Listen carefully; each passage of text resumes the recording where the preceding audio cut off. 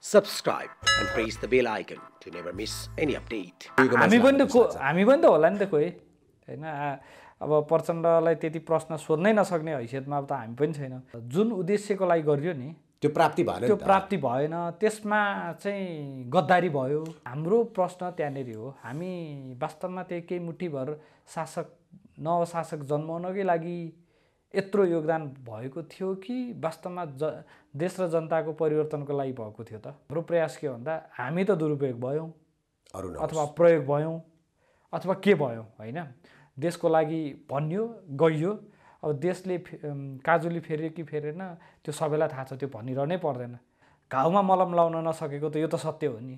उहाँहरूले पनि बुझ्नु भएको छ। तर कहिलेकाहीँ के हुन्छ भन्दा बढी चाप्लुसी गर्नाले कुरा बिग्रिन्छ। सुनाइमा त कम्युनिस्ट जस्तो राष्ट्रवादी त कोही होइन जस्तो लाग्छ नि। तर राष्ट्रवादको सवालमा कम्युनिस्टहरूले के के गरे भन्ने त अब देखिन्छ त्यहाँनिर। हामीले यो उद्देश्यको लागि योगदान गरेका थिएनौँ नि त। कसैको परिवार बनाउनको लागि कसैलाई लुटी खाने भाँडो बनाउनको लागि त हाम्रो योगदान त थिएन। अब हामीलाई हिजो चाहिँ सुरुङ युद्ध गर्नुपर्छ। भारतसँग। भारतसँग विस्तारवादीसँग लड्नुपर्छ साम्राज्यवादीसँग चाहिँ लड्नुपर्छ अमेरिकाको अनुहार हेर्नुहुन्न। भन्नेहरू आज उनीहरूकै टाङमुनि छिरेर चाहिँ सत्ताको लागि भनेर कसरी चाहिँ लम्पसार परिरहेका त्यो त हाम्रो आँखा अगाडि छर्लङ्ग छन् नि।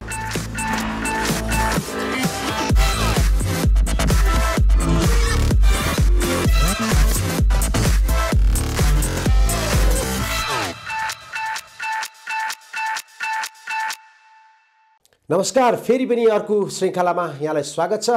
यो राजनीतिक मरुभूमिको राजनीतिक उत्पादनहरूमा। म पटक पटक भन्छु राजनीति भनेको जीवन हो यो राजनीतिबाट कोही पनि अलग हुन सक्दैन। राजनीति भनेको आमा हो चेतना हो। यो मैले लगाएको कोट कयौँ दिनदेखि लगाइरहेको छु एउटै कोट। यो पनि राजनीतिक चेतनाले नै दिएको मैले लेख्ने पेन मैले लेख्ने कपी र बत्ती भयो यो बलिरहेको बत्ती र मलाई यो हाम्रो स्टुडियोमा खिचिरहेको क्यामेरा र मेरा अगाडि उभिने भएका पात्र पनि राजनीतिकै उपज हो। यस्तै म युवा राजनीतिलाई अहिले केही दिनदेखि अलिकति बढी ध्यान दिइरहेको छु। त्यस्तै एकजना युवा राजनीतिज्ञ जसले नेपालको युवाहरूलाई रोजगारीमा आफ्नै देशमा रोजगार दिनुपर्छ स्वरोजगार बनाउनुपर्छ आफ्नै देशका उत्पादनहरूमा ध्यान दिनुपर्छ र त्यो उत्पादनहरूलाई विश्व बजारमा पुर्याउनु पर्छ सधैँ अर्काकै किनेर खानुहुन्न सधैँ चाहिँ हाम्रा युवाहरूलाई विदेशमा रोजगारीको लागि पठाउनुहुन्न भन्ने आवाज उठाउनुभएका वामपन्थी विचारधारा राख्ने। भन्नलाई उहाँलाई नेकपा माओवादीका कार्यकर्ता पनि भन्छन्। उहाँ त्यो एउटा विभाग खेलकुद युवा विभागको मा पनि हुनुहुन्छ। नाम पनि उहाँको बाबाले के राखिदिनु भएको छ? लेनिन विष्ट। स्वागत छ लेनिनजी तपाईँको त नामबाटै कम्युनिस्ट कम्युनिस्ट झल्किने क्या। अब यो नामै राखेर चाहिँ कम्युनिस्ट हुन्छ कि हुँदैन त्यो चाहिँ अब बाबालाई सोध्नु पर्ला। मान्छे धनबहादुर हुँदैमा धनी नहुँदो रहेछ बलबहादुर हुँदैमा बल अब बलियो पनि नहुँदो रहेछ तपाईँले भन्नु खोज्नु भएको कि? मेरो नाम लेनिन भए पनि म कम्युनिस्ट होइन भन्नु खोज्नु अब यस्तो छ अब नाम त अब हाम्रो कम्युनिस्ट लिडरहरूको हेर्नुभयो भने कोहीको वामदेव होइन। खड्ग प्रसाद होइन? बाबुराम होइन पुष्प कमल छन् कम्युनिस्ट। कति राम्रो तर हेर्दाखेरि धार्मिक नाम छ नि। नाम कति धार्मिक छ? तर उहाँहरू कम्युनिस्ट भन्नुहुन्छ। धार्मिक भन्नुभयो उहाँहरूलाई? अब नाम हेर्दा त धार्मिक छ। पुष्पकमल दाजी तपाईँको आफ्नै नेता प्रमोट गर्नुपर्ने खालको छ नि। तपाईँकै नेता हो नि हजुर कति वर्ष समय बिताउनु भयो तपाईँले उहाँ यस्तो छ हामी नेता। मानेको पनि हो। पछिल्लो चरणमा अब जब कम्युनिस्ट आन्दोलनलाई एउटा मागी खाने भाँडो एउटा बेची खाने अवस्थामा पुर्याइसकेपछि आन्दोलनलाई चाहिँ तहस नहस बनाएर जुन एउटा कार्यकर्ताको पीडाहरूलाई सम्बोधन नगर्ने एउटा राज्यलाई ठिक ढङ्गले अगाडि बढाउन नसकिसके पछाडि जनताको महत्त्वाकाङ्क्षालाई खरो रूपमा उत्रिन नसके पछाडि एउटा परिवारवादमा फस्दै गएपछि अझ भनौँ चाहिँ सैद्धान्तिक तवरमा चाहिँ विचलनता देखिसके पछाडि हामीले चाहिँ उहाँहरूको विकल्प खोजिनुपर्छ। युवाहरूले नै यसको हस्तक्षेपकारी भूमिका। निभा निभाउनुपर्छ भन्ने ढङ्गले गऱ्यौँ होइन। तपाईँको नेता अहिले प्रचण्डजी होइन। त्यस्तो पनि हुन्छ कम्युनिस्टमा। डेमोक्रेटहरूमा त मैले देखेको छु होइन? कम्युनिस्टमा चाहिँ देखेको छैन नि। अब यस्तो मेरो नेता हुँदा फरक उहाँलाई केही पनि पर्दैन नहुँदा पनि उहाँलाई फरक पर्दैन। तर एउटा के भन्दाखेरि एउटा युवाको आँखाबाट उहाँले देशलाई सही ट्र्याकमा लान सक्नु भएन त्यही भएर हामीले उहाँलाई नेता मानिरहनु पर्छ भन्ने पनि छैन। तपाईँले कुनै दिन प्रत्यक्ष प्रचण्डजीलाई भेटेर भन्नुभयो तपाईँले यो गलत गर्दै हुनुहुन्छ। हामी जस्ता युवाहरू तपाईँसँग खुसी छैनौँ तपाईँले भन्नुभयो एउटा गर्नुभयो अर्को भन्नुभयो। परिवारवादमा फस्किनुभयो सैद्धान्तिक रूपमा विचलन हुनुभयो आर्थिक प्रलोभनमा पर्नुभयो आफ्नै व्यक्तिगत स्वार्थमा रुमल्नुभयो हामीलाई उल्लु बनाउनु भयो भन्नुभयो। मैले एकचोटि होइन धेरैचोटि भेटेर भने प्रत्यक्ष भेटेर भन्नुभयो? प्रत्यक्ष भेटेर मैले धेरैचोटि धेरैजनाको बिचमा भन्नुभयो कि उहाँलाई वान टू होइन मैले वान टू वान पनि भनेको छु उहाँले के भन्नुभयो त्यसो भन्दा? होइन अब सुध अब सुध्रिन्छौँ अब हामी यो सुध्रिन्छौ भन्नुभयो? होइन, म त के सोचेको? उहाँका सत्तरी असीजना गार्डरले बन्दुक पो तेर्साए भन्ने सुन्नलाई खोजेँ कि मैले? यस्तो हुन्छ। अब त्यो त्यो स्थितिमा अब भन्न सक्ने कुरा भएन होइन? अब त्यो बन्दुकै तेर्साउने अब त्यो देखेको जस्तो त्यो फिल्म पनि होइन नि त यो त रियल लाइफ हो नि त। अनि अर्को कुरा त हामी पनि त हामी पनि त होला नि त कोही। होइन अब प्रचण्डलाई त्यति प्रश्न सोध्नै नसक्ने हैसियतमा अब त हामी पनि छैनौँ। किनभने पर प्रचण्डले जुन उद्देश्यको लागि एउटा चाहिँ अन्याय अत्याचारको विरुद्धमा चाहिँ लड्नुपर्छ भनेर स्कुलिङ गरिरहने त हामी पनि एउटा त्यो कार्यकर्ता एउटा त स्टुडेन्ट त हो नि त। कति वर्ष अहिले पनि धेरै उमेर त भएको छ नि तपाईँ। कति वर्ष हुन्छ तपाईँले माओवादीसँग आबद्ध हुँदा? होइन म माओवादीमा अब भयो बाह्र तेह्र वर्षको उमेरदेखि अब वामपन्थी आन्दोलन माओवादी आन्दोलनमा वामपन्थी त तपाईँ जन्मिनुभन्दा पहिले बाबाले तपाईँलाई बनाइदिनु भयो। नामै लेनिन राखिदिनु भयो। तपाईँ गर्वमै वामपन्थी? अब नामै राखेर वामपन्थी त्यही त म यसमा चाहिँ कहिलेकाहीँ यसो सोच्छु आमाले कहिले केही भन्नु भएन होइन यस्तो छ। अब मेरो मम्मी अब मेरो सानैमा बित्नु भएको त्यही भएर. अब त्यति ऊ पनि भएन। अर्को कुरा चाहिँ अब मम्मी अब घरको काम गर्ने मान्छे भएको कारणले अब त्यति पोलिटिक्स बुझ्ने पनि भ- म त घर सम्हाल्दै बिचरा आमालाई फुर्सद छैन अनि कसरी राजनीति त्यो त हाम्रो आमाहरूको पोलिटिक्स दुःखको कुरा। पोलिटिक्समा चाहिँ के हुन्छ भन्दाखेरि अब नामैले पनि केही प्रभाव त पार्छ पक्कै पनि। होइन मैले तपाईँको नाम मैले पढ्ने बित्तिकै नामै कम्युनिस्ट रहेछ। ठिकै छ अब हामी जसरी नामलाई सम्मान गर्दै अब हुन त चाइनामा माओलाई कति सम्मान अघि म अब? कम्युनिस्ट होइन भन्न खोज्दै हुनुहुन्थ्यो अहिले आएर फेरि तपाईँ चाहिँ नामको सम्मान राख्दै भनेपछि तपाईँ क अझै कम्युनिस्ट हो होइन भने कन्फ्युजमा त आउनु भएको होइन तपाईँको नेताहरूको गतिविधिले गरेर यस्तो छ अब नामै हटाएर मैले भने नि नामले नै सबै कुराको चाहिँ निर्धारण गर्दैन। त्यही भएर मैले भनेको तर नामले प्रभाव चाहिँ काहीँ न काहीँ पार्छ। तपाईँलाई पार्यो कि अरूलाई पार्यो? अनि स्वाभाविक रूपमा मेरो नाम चाहिँ राम हरि श्याम भइदिएको भए अहिले तपाईँले भनेको जस्तो ठ्याक्क हेर्दाखेरि अलिकति प्रभाव कम पनि हुनसक्थ्यो होला। अब नाम लेनिन भएपछि ए के हो त भन्ने मान्छेको उसमा एउटा वामपन्थी आन्दोलनमा लागेको अथवा चाहिँ त्यो सम्बन्धी अध्ययन गरेका मान्छेहरूलाई चाहिँ चाँडो अनुहार चाहिँ सम्झिन सजिलो हुने नाम सम्झिन सजिलो हुने अब त्यो प्रभावलाई पनि अलिकति त्यसले चाहिँ सपोर्ट चाहिँ गर्दो रहेछ। र अर्को कुरा नामअनुसारको काम भएन भने फेरि त्यहाँ बिग्रिने पनि धेरै कुरा छ। जस्तै अहिले हाम्रो मैले लिडरहरूलाई बारम्बार भन्छु वास्तवमा भन्ने भन्दा उहाँहरूको नामै यति धार्मिक छ कि सम्मान श्रद्धा गर्नुपर्ने खालको छ। अब मेरो नामै श्रद्धा गर्ने खालको होइन कि नामै कम्युनिस्ट खालको छ कि? विद्रोही खालको। अब त्यो खालको छ। अब मलाई कसैले श्रद्धा भन्दा नि यो चाहिँ जन्मिँदै विद्रोहीवाला हो है भन्ने जस्तो। मलाई चाहिँ हुन पनि त्यो नामले गर्दाखेरि पनि काहीँ अन्याय अत्याचार भयो काहीँ चाहिँ उहाँहरूले गलत गर्नुभयो भने म चाहिँ त्यही त्यहीँनेरि अन द स्पोट प्रश्न गर्न सक्ने खालको। अब त्यो नामले नै बनाए कि जस्तो लाग्छ कि। है। बाह्र वर्षको उमेरदेखि तपाईँ माओवादीको चाहिँ आन्दोलनमा तपाईँ भूमिगत त बस्नु भएन युद्धहरू त लड्नु भएन। होइन यस्तो अब बाह्र वर्षदेखि आन्दोलनमा भएपछि भूमिगत नहुने भन्ने कुरै भएन। भूमिगत पनि बस्नुभयो अब भूमिगत भएर जनमुक्ति सेना भएर पूर्व बाल लडाकु भएर त्यसपछि निस्किएर त्यसको अब नेतृत्व गरेर आफ्नो अधिकारको लागि त यत्रो दसौँ वर्षदेखि लडिरहेको छु होइन।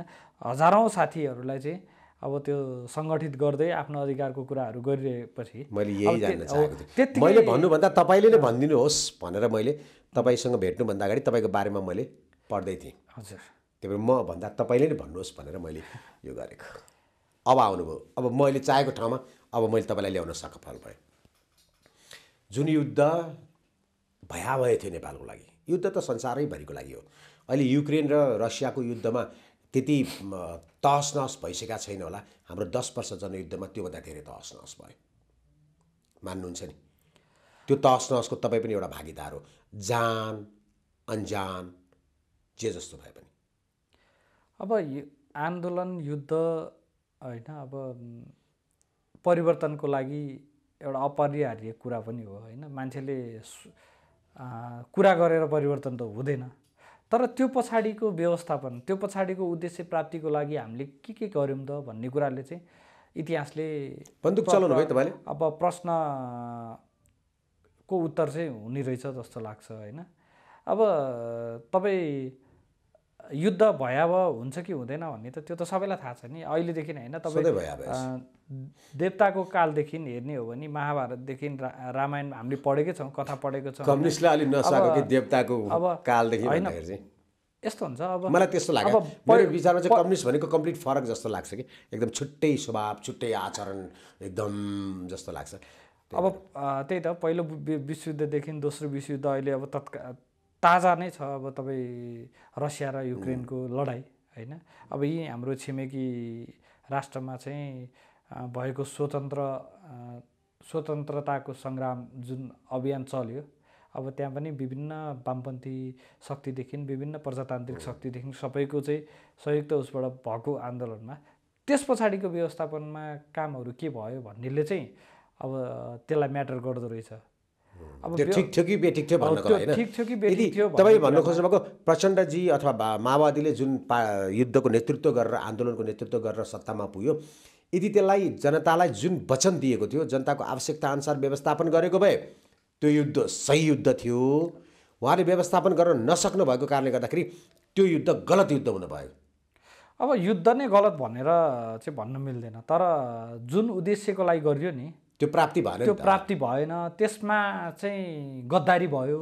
हो। होइन त्यसमा चाहिँ अब क कसले कहाँ कहाँ सम्झौता गर्नुभयो अथवा त्यो व्यक्तिगत लाभ हानिका कुराहरू थिए थिएनन्?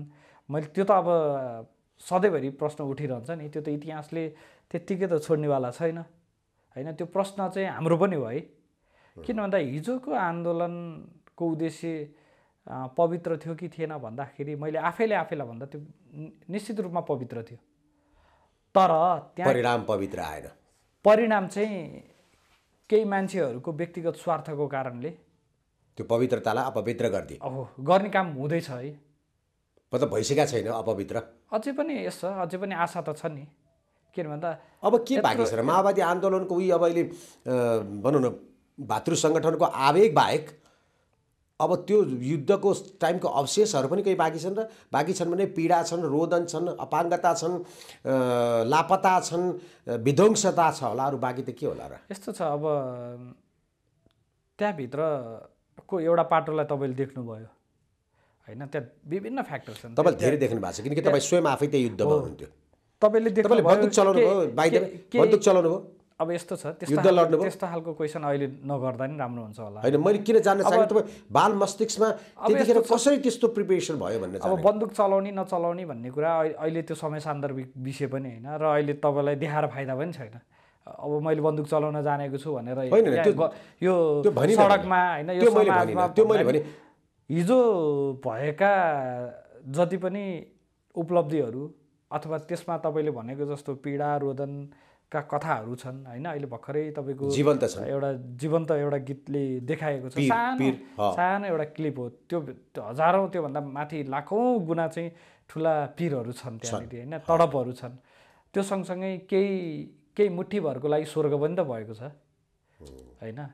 हो हाम्रो प्रश्न त्यहाँनिर हो। हामी वास्तवमा त्यही केही मुठीभर शासक नवशासक जन्माउनकै लागि यत्रो योगदान भएको थियो कि वास्तवमा ज देश र जनताको परिवर्तनको लागि भएको थियो त? भन्दाखेरि देश र जनताको विषयमा हामी आफै पनि अझै पनि प्रश्न गरिरहेका छौँ। हामी त प्रश्न गर्ने ठाउँमा छौँ। उत्तर दिने ठाउँमा त हामी छैनौँ। हिजो जसले प्रश्न गरिरहनु भएको थियो उहाँहरू अहिले उत्तर दिने ठाउँमा हुनुहुन्छ तर उहाँहरूले उत्तर दिनुहुन्न। किन दिनुहुन्न भन्दाखेरि उहाँहरूलाई अब त्यो समस्या त्यो पीडा त्यो रोदन त्यो रुवाई देखेर उहाँहरूलाई चाहिँ अब के हुन्छ मलाई थाहा छैन। उहाँलाई राम्रो लाग्दैन। तपाईँ यसरी बोलिरहँदा नि म तपाईँको बाह्र चौध वर्ष सोह्र अठार वर्ष अगाडि गइरहेको छु। तपाईँ अहिले पनि यति भर्खर यङ हुनुहुन्छ भने आजभन्दा पन्ध्र बिस पन्ध्र सोह्र वर्ष अगाडि कस्तो हुनुहुन्थ्यो होला? तपाईँको नजुङ्गाको रेखी पनि बसेको थिएनन् होला। है तपाईँको हातको चाहिँ काँचुली पनि फेरिसकेको थिएन होला। मैले अघि बन्धुको कुरा उठाएँ नि। तपाईँ प्रतिनिधि पात्र हो। एकदम। किनभने तपाईँको मस्तिष्कमा कसरी बुझाइयो कि यसले तिमीले मुक्ति पाउँछौ? यसले ती दुःख पाएका पीडा पाएका हेपिएका दलिएका र शोषित वर्गको मुक्तिको लागि तिमीले यो हतियार उठाउनै पर्छ भनेर कसरी कन्भिन्स गराइयो होला भन्ने त्यहाँ मैले आफूलाई भन्दा पनि मेरो बच्चाहरूको कल्पना गरेर मलाई डर लागेर म तपाईँलाई ध्यान दिएर बसिरहेको थिएँ। अब यस्तो आन्दोलन वास्तवमा जसरी आन्दोलनको उचाइलाई बुझाउने प्रक्रियामा अब त्यहाँनिर विभिन्न फ्याक्टरले काम गर्छ जस्तै राज्यको दमनले पनि कति काम गर्न सक्छ होइन? तपाईँको अन्तर्राष्ट्रिय दमनहरू सन्धि सम्झौताले पनि काम गर्न सक्छ अब नेपालको फ्याक्टरमा हेर्ने हो भने तपाईँको केही सामन्तीको विरुद्धमा न हो आन्दोलन अब सामन्ती प्रथा सिद्धियो कि सिद्धिएन जमिनदारी प्रथा सिद्धियो कि सिद्धिएन त्यो त अब आफ्नो ठाउँमा। त्यो आफ्नो ठाउँमा छ किन भन्दा हामीले केही सामन्तलाई सिद्धायौँ भन्यौँ तर हामी आफै चाहिँ सिद्धिएर चाहिँ। झन् न नवसामन्तहरूलाई उदयमान बनाएर लिएर आएको अवस्था छ अब त्यसमा त्यो आन्दोलनको मुभमेन्टमा अ, चाहिँ जान प्रेरित कस्ता कस्ता फ्याक्टरले गर्छन् भन्ने कुराहरू अब एउटा त समाजको परिवेशले पनि काम गर्ने कुरा भइहाल्यो। अर्को कुरा राष्ट्रिय राजनीतिको माहौल चाहिँ कसरी बनाएको छन्? हुन त अब त्यसलाई दर्शनको रूपमा गीत सङ्गीतको रूपमा अनेक अनेक रूपमा चाहिँ अब त्यो त्यसलाई बनाउने कुरा भयो त्यसलाई चाहिँ मोटिभेट गर्ने कुरा भयो होइन? तर बाल मस्तिष्कमा सबैभन्दा सजिलो चाहिँ यो कुरा चाहिँ गलत हो है। यो कुरा सही हो भनेर चाहिँ तपाईँ हालिदिनु भयो भने उसले सहीलाई सही गलतलाई गलत भनेर त्यो ठाउँमा जान सक्छ कि? त्यसलाई चाँडो मोटिभेट गर्न सकिन्छ। यो हामीले भनेको होइन हामी आफै त भोगेर आयौँ। अब तपाईँहरूले अथवा चाहिँ विभिन्न बुद्धिजीवी हुनुहुन्छ जो रिसर्च गरिरहनु भएको छ यस्तो विषयमा उहाँहरूको रिपोर्टले पनि यही भन्छ कि बच्चाको जुन बाल मस्तिष्कलाई चाहिँ चाँडो कन्भिन्स गर्न सकिन्छ। संसारभरि यो यही नियम लागू भएर होला सायद बालबालिकाहरू युद्धमा दुरुपयोग गरेका छन्। आज नेपालमा मात्र होइन कि संसार युएनको रिपोर्ट हेर्ने हो भने तिस लाख बालबालिका चाहिँ। कुनै न कुनै रूपमा युद्धमा प्रयोग भएका देखिन्छ रिपोर्टमा। अब त्यहाँ मरेको तथ्याङ्क हेर्ने हो भने अब झन् डरलाग्दो तथ्याङ्क छ। अब यसलाई हामीले रोक्नुपर्छ होइन? अब संसारमा द्वन्द्व हुँदैन भनेर हामी ग्यारेन्टी गर्न सक्दैनौँ। सक्दैनौँ। किन? कुनै न कुनै रूपमा भविष्यमा द्वन्द्व भइरहन्छ। जबसम्म मानव सभ्यता रहन्छ तबसम्म द्वन्द्व हुन्छ नै। हो तर पनि हामीले हाम्रो प्रयास के भन्दा हामी त दुरुपयोग भयौँ। अथवा प्रयोग भयौँ अथवा के भयौँ होइन? देशको लागि भनियो गइयो। अब देशले काजुली फेऱ्यो कि फेरेन त्यो सबैलाई थाहा छ त्यो भनिरहनै पर्दैन। त्यसमा हामीले अब क्षमा याचना गर्ने कुराहरूदेखि के गर्नुपर्ने हो? त्यो त हाम्रो ठाउँमा छ। हामीले प्रश्न गर्ने ठाउँमा प्रश्न पनि गरिरहेका छौँ। तर भविष्यमा नयाँ पुस्ताले दुःख नपाओस्। त्यो दिन हेर्न नपरोस्। त्यो दिन हेर्न नपरोस्। र दुरुपयोग हुन नपरोस् भनेर हाम्रो खबरदारी हो। हाम्रो प्रश्न त्यहाँनिर मात्र हो। कुनै पनि युद्ध आन्दोलनले युद्ध विशेष गरेर। युद्धले त्यतिखेर युद्ध विराम भए पनि युद्ध सकिए पनि तत्कालीन त्यसका अवशेषहरूले त छोड्दैनन् त्यो त सयौँ वर्षसम्म त्यो अवशेषहरू मेटाउन काम लाग्छ होइन? समय लाग्छ। भनौँ न महाभारत युद्धको समयको अहिले पनि हामी अवशेषहरू खोज्दैछौँ भनेपछि नेभर एन्ड तर यति हो कि कम क्षति होस् भन्ने हामीले प्रयास गर्ने हो। अब म, तपाईँको हिजो मात्रै मैले एउटा अन्तर्वार्ता हेरेको थिएँ धेरै पछि तपाईँलाई फेरि मैले क्यामेराको अगाडि देख्न पाएँ। मभन्दा उमेरले सानो पनि हुनुहुन्छ भाइ।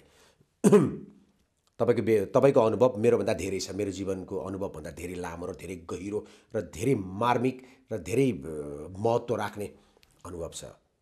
प्रकाश सपुतजीको यो गीतको बारेमा हामीले खासै धेरै बोलिरहन त पर्ने होइन। किनकि एक किसिमको हाम्रो प्रचण्डजीले यस विषयमा बहस नगरौँ भनिसक्नुभयो। तर पनि उहाँका भातृ सङ्गठनहरूले आज पनि थ्रेड गरिरहेका छन् कि युट्युबबाट हता तैँले चाहिँ आत्मसमर्पण गर्नुपर्छ होइन? जुन वर्गको लागि राजनीति गरेको हो जुन समुदायको लागि हो जुन व्यक्तिहरूको लागि गरेको उनीहरूलाई नै अहिले दमन गरिराख्नु भएको अवस्था छ। उनको उग्र माओवादी चाहिँ एकदम प्रष्ट अहिले छताछुल्ल भएको छ। तपाईँले पनि यस यो चाहिँ गलत हो भन्नुभयो। स्वयं माओवादीबाट बाल चाहिँ सैनिकबाट चाहिँ अनुभव बटुल्नु भएको मान्छे प्रचण्डको आदर्शको लागि ज्यान दिन र लिन चाहिँ पछाडि अगाडि सर्नु भएको व्यक्तिले यसरी विरोध गर्दाखेरि तपाईँलाई डर लाग्दैन? यस्तो छ अब तपाईँले चिन्नुहुन्छ त्यहाँ साथीहरू चाहिँ पहिला कुरा त हाम्रो नाफाको जिन्दगी हामी आफैले भन्छौँ होइन।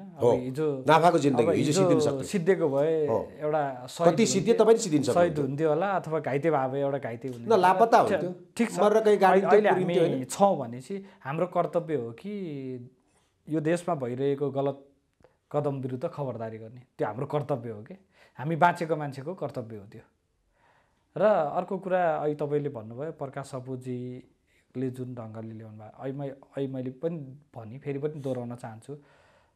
यो जनयुद्धको अवशेषहरूको जुन पीडा छ नि त्यो मध्येको यो पर्सेन्टमा हेर्ने हो भने यो एक पर्सेन्ट पनि होइन।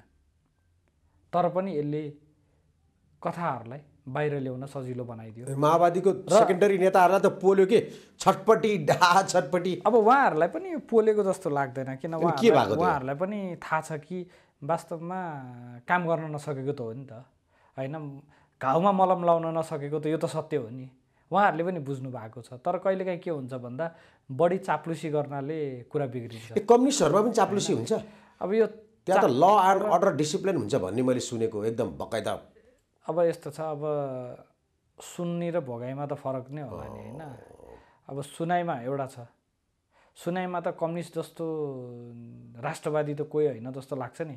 तर राष्ट्रवादको सवालमा कम्युनिस्टहरूले के के गरे भन्ने त अब देखिन्छ त्यहाँनिर। हाम्रै नेताहरू हुन्। हो हाम्रै दाजुभाइ हुन् हाम्रै हामीलाई। हिजो चाहिँ सुरुङ युद्ध गर्नुपर्छ। भारतसँग।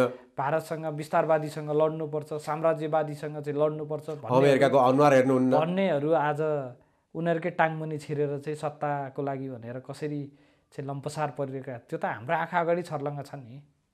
भनेपछि अब त्यो भनाइ र व्यवहारमा राम्रो भइदिएको भए त हामी हामी त उहाँहरूको फलोवरै हो नि। हामीले भगवानै डर लागेन साँच्ची डर लागेन?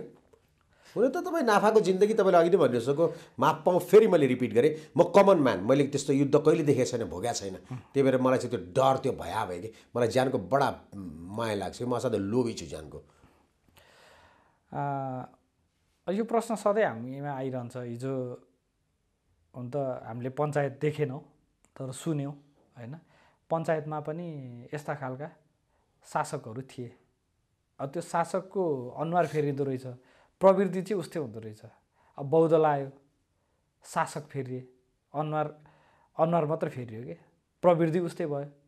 पछिल्लो चरण अब तपाईँको राजतन्त्रको प्रत्यक्ष शासन अवस्थामा देखियो नि त। दि दिनदाडै मान्छेलाई गोली हान्ने होइन? माओवादी भनेर भन्न नपाइने। अब त्यो कस्तो अवस्था थियो होला? कस्तो डरमर्दो अवस्था थियो होला। त्यो अवस्थामा तपाईँहरूले गर्नुभएको अब त्यो अवस्थामा पनि हामीले आवाज उठाएकै हो अन्यायको विरुद्धमा। आज गणतन्त्र छ। वाक स्वतन्त्रताको लागि सबैभन्दा बढी लड्ने बोल्ने कम्युनिस्ट।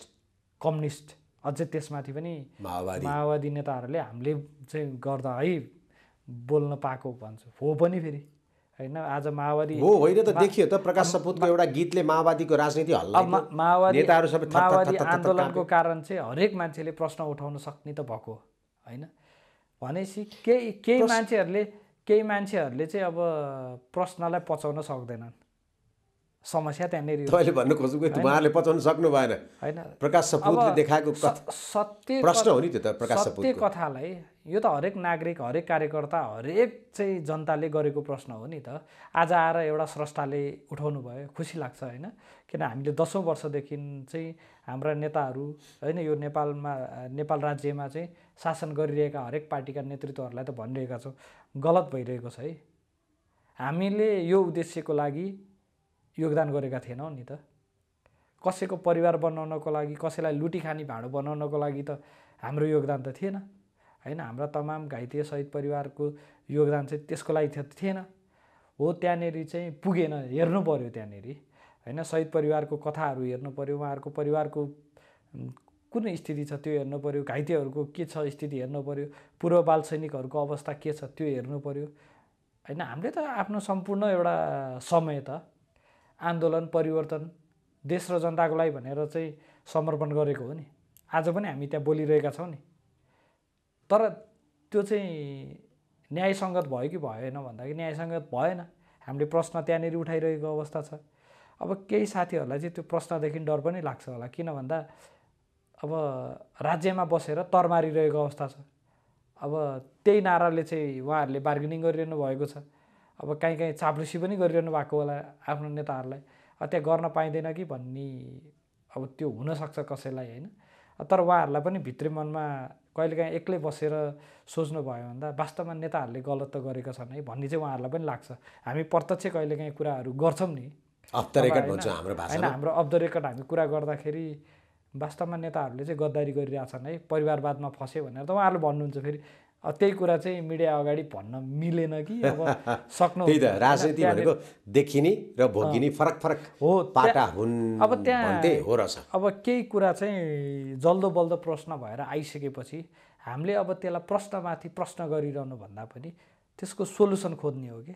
अब हाम्रा साथीहरू कहाँ कहाँ हुनुहुन्छ त? हाम्रा साथीहरू कस्तो काममा हुनुहुन्छ? हाम्रा साथीहरूले के के गरिरहनु भएको छ? कतिसम्म पीडा भोगिरहनु भएको छ? अब खोज्ने हो। अब त्यसलाई मलमपट्टि लाउने काम चाहिँ राज्यले र तत्कालीन नेतृत्वहरूले गर्नुपर्छ होइन? मेरो आग्रह चाहिँ उहाँहरूलाई के भन्दा धेरै सत्ताभोगी मात्र भएर होइन कि अब हिजोका पीडितहरूको चाहिँ खोजबिन गरौँ। उहाँहरूको चाहिँ घाउमा मलम लाउने काम गरौँ। उहाँहरूको जुन विचारलाई होइन मार्ने काम नगरौँ कि उहाँहरूसँग के भएन त? हिजो हामीले गरेका जुन प्रमेसहरूलाई हामीले कहाँनिर त्रुटि गऱ्यौँ त्यहाँ खोजबिन गरौँ त्यहाँ सल्लाह गरौँ।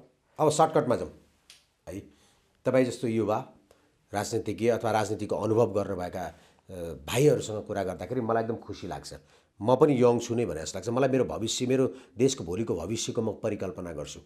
तपाईँले युद्ध पनि लड्नुभयो सबै कुराहरू भोग्नुभयो। अब सर्टकटमा भन्नुहोस् कि माओवादीले जुन उद्देश्यको लागि आन्दोलन लडाइँ गर्यो यत्रो ठुलो विध्वंस भयो युद्ध भयो त्यसको उपलब्धि यो होइन होइन त? अब यस्तो सर्टकटमा भन्नु न। त्यसको सर्टकटमा त त्यस्तो भनेर हुने कुरा भएन होइन। तर यो उद्देश्यको लागि लडेको होइन त मैले बारम्बार भनिरहेको तर प्रकाश देखाएको कथाहरू चाहिँ यो समाजमा अहिले पनि विद्यमान छ यो सत्य हो। यो त मात्र पर्सेन्टेजको आधारमा zero zero zero zero one पर्सेन्टको कथा मात्र हो। यहाँ कति छन् कति छन्। अब यो कथाहरू बारम्बार बेला बेलामा यो एक दुई महिनामा एक दुई वर्षमा किन यसरी आइरहन्छ त? किन चाहिँ सबैको ध्यानलाई चाहिँ केन्द्रित गर्ने गरी चाहिँ यस्ता कथाहरू चाहिँ बाहिर आउँछ भन्दाखेरि त्यो समाजमा भएको कारणले हो नि यथावत भएको कारणले हो नि हो नि? समाजमा नभइदिएको भए मान्छेले त कल्पना गर्न सक्ने थिएन होला। अब त्यो सङ्गत पनि गर्न सक्ने थिएन होला। आज चाहिँ प्रकाश सपुतजीले केही क्यारेक्टरहरूलाई चाहिँ प्रतिबिम्बको रूपमा चाहिँ उतार्नु भएको छ। भोलि अर्को सपुतजीहरूले उतार्नुहुन्छ होला होइन? भोलि अर्कोले उतार्नुहुन्छ होला किन भन्दा हजारौँ समस्या छन् हजारौँको छन् फेरि। हजारौँ समस्या हजारौँको छन्। यो किन भयो भन्दाखेरि सही समयमा यसको व्यवस्थापन नहुनाले हो नि। भनेपछि सही समयमा व्यवस्थापन ल ठिक छ गर्न सकेन। अब त थाहा पाउनु अहिले त थाहा पाउनु पनि। अब गरौँ न। हो नि। अब गरौँ न अब त्यो जुन सर्जकलाई गाली गरेर धम्क्याउनु ठाउँमा ए के यो छ अझै पनि समाजमा? हामी खोजौँ भनेर खोजेर होइन खोजौँ।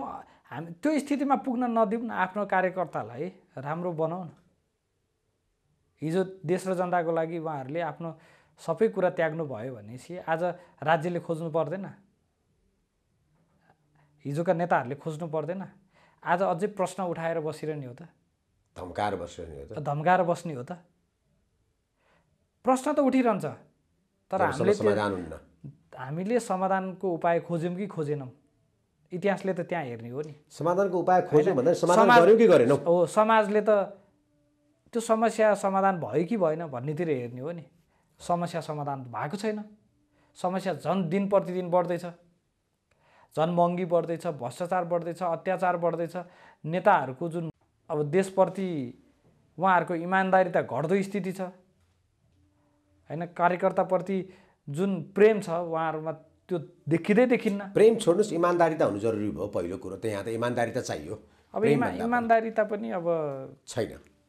देखिरहेको के भन्ने अब होइन देखिएको भए अब देख्दा देख्दै चाहिँ अब गजब गरे भन्न पनि सकिन्न। हो झुट बोल्न पनि त सकिन्न। झन् तपाईँ त्यति सानोमा चाहिँ सत्य र असत्यको लडाइँ अब हामी आफ्नो छातीमा हात राखेर भन्दै गर्दाखेरि गलत भएको त हामी भन्नु पऱ्यो नि। सहीलाई सही र गलतलाई गलत त भन्नु पऱ्यो नि। अब तपाईँको भविष्यको बाटो के? राजनीति या सन्यास?